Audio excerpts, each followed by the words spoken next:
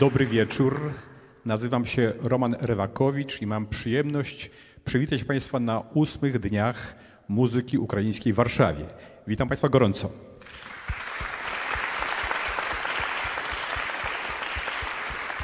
To już po raz ósmy wypełniamy muzyką ukraińską piękne sale Warszawy.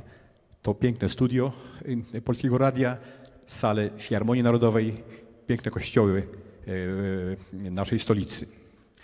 Dziś, gdy Ukraina broni europejskiej cywilizacji przed rosyjską dzikością, my pokazujemy kulturę Ukrainy, tym samym udowadniając jej ważność na kulturalnej mapie świata, udowadniając jej podmiotowość i unikalność. Chcemy Państwu i tym razem unaocznić tę wyjątkowość i cieszę się bardzo, że jesteście Państwo z nami. Tu też muszę powiedzieć, że nasze koncerty są możliwe dzięki przychylności. Od kilku lat nasze festiwale y, mają miejsce w cyklu rokrocznym, a to dzięki przychylności miasta stołecznego Warszawy i trzyletniej dotacji, która pozwoliła nam z roku na rok nasz festiwal e, organizować. W tym roku też się cieszymy dotacją. Dziękuję. Tak, to brawa dla miasta Wa Warszawy. W tym roku także cieszymy się przychylnością Ministerstwa Kultury i Dziedzictwa e, Narodowego we współpracy z Narodowym Instytutem Muzyki i Tańca. Ale nasz festiwal ma w tym roku taki rozmach i taki zakres dzięki przychylności naszych głównych partnerów Banku Gospodarstwa Krajowego i Fundacji Most, e, The Most, za co bardzo, bardzo dziękujemy.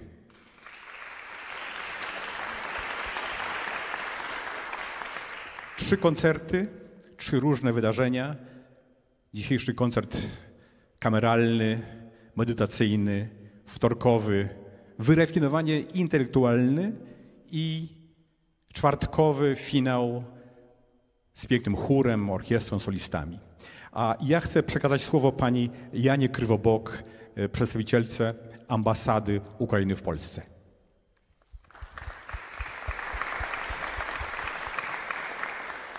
Dobry wieczór Państwu. Chcę serdecznie przywitać wszystkich Państwa w imieniu ambasadora Ukrainy w Polsce, pana Andrija, e, przepraszam, Wasyla Zwarcia.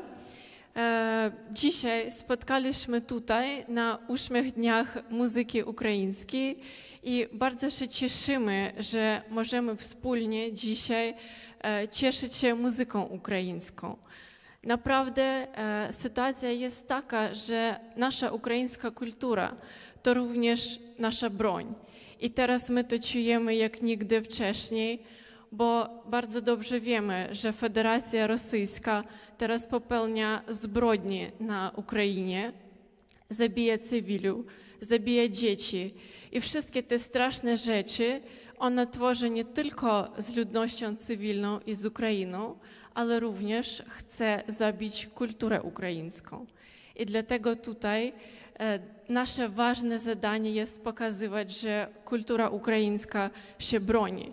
I to jest nasza potężna broń. I dzisiaj Państwo będziecie mieli e, okazję i możliwość właśnie e, zapoznać się z tą ukraińską muzyką fantastycznego ukraińskiego współczesnego kompozytora Sylwestrowa. I ja mam nadzieję, że dzisiaj uczujemy tą wielką siłą, którą którą ma muzyka. Życzę miłego wieczoru Państwu.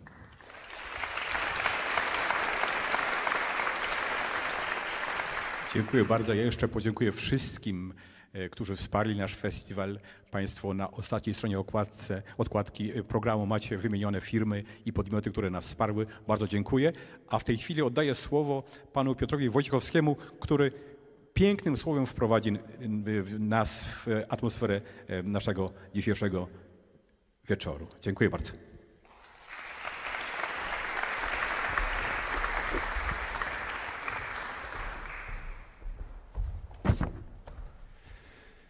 Dobry wieczór Państwu.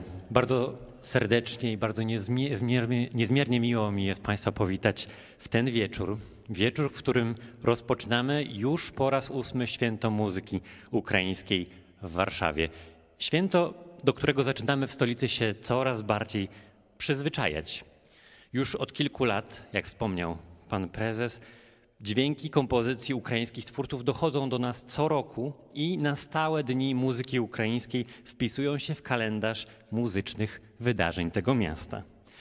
A chyba nigdy wcześniej nie potrzebowaliśmy tego tak mocno jak dzisiaj. Gdy miasta ukraińskie równane są z ziemią, gdy obywatele tego kraju przelewają krew za wolność, a kultura ukraińska jest przez wroga traktowana jak fikcja, potrzebujemy przypominać sobie, jak ważna dla ogólnoświatowego dziedzictwa jest kultura naszych wschodnich sąsiadów. W trzy kolejne wieczory, nie kolejne, przepraszam, ale w trzy wieczory będziemy mieli okazję do takiej właśnie refleksji. Dziś i we wtorek tu, w studiu koncertowym Polskiego Radia imienia Witolda Lutosławskiego, a na finał we czwartek w Filharmonii Narodowej. I za tę gościnę serdecznie dziękujemy. Ogromnym szczęściem jest to, że mamy możliwość znów takie wydarzenie dla warszawskiej publiczności organizować, co bez instytucjonalnego wsparcia nie byłoby możliwe. I szczególne podziękowania kierujemy do miasta stołecznego Warszawy, Ministerstwa Kultury i Dziedzictwa Narodowego, a także Stowarzyszenia Autorów ZAIKS, spółki Magovox i Związku Artystów Wykonawców StoArt. I tak jak pan prezes wspomniał, Głównymi partnerami festiwalu są Bank Gospodarstwa Krajowego i Fundacja Most the Most.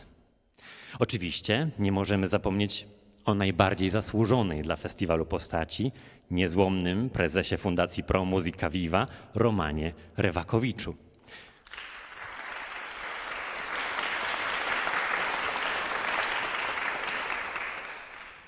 Większe podziękowania w jego stronę pozostawimy sobie jednak na finał festiwalu, gdy wieczór Filharmonii Narodowej poprowadzi właśnie maestro.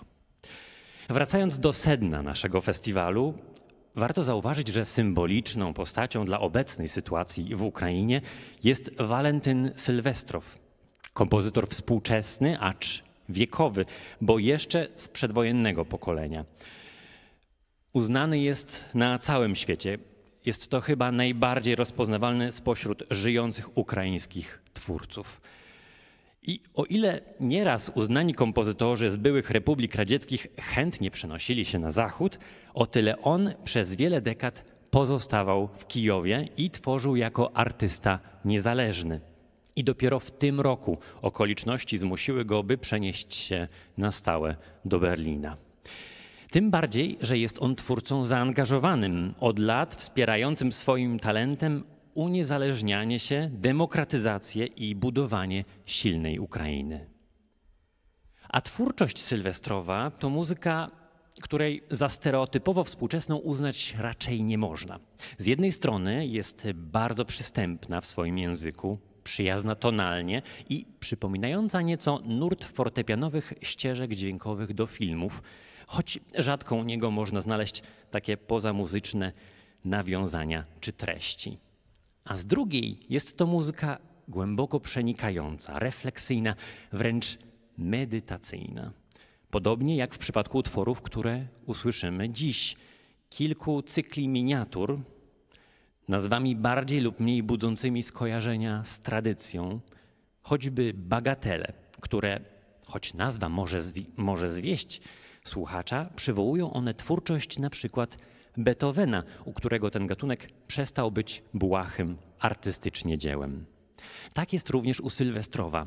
Ten zmusza słuchaczy do refleksji, a jednocześnie potrafi ich swoimi dźwiękami ukołysać. A tę wielobarwną opowieść muzyczną przedstawi nam Dmitro Honi, podobnie jak Sylwestrow, pochodzący z Kijowa muzyk, 30-letni pianista, który ma na swoim koncie laury m.in. z konkursów w Santander czy w Leeds, występujące w najbardziej znanych salach koncertowych świata Wigmore Hall, Carnegie Hall czy Teatro Colon na festiwalach m.in. w Werbie czy w Dubrowniku. Obecnie muzyk swój kunszt artystyczny kształci na Uniwersytecie w Gracu.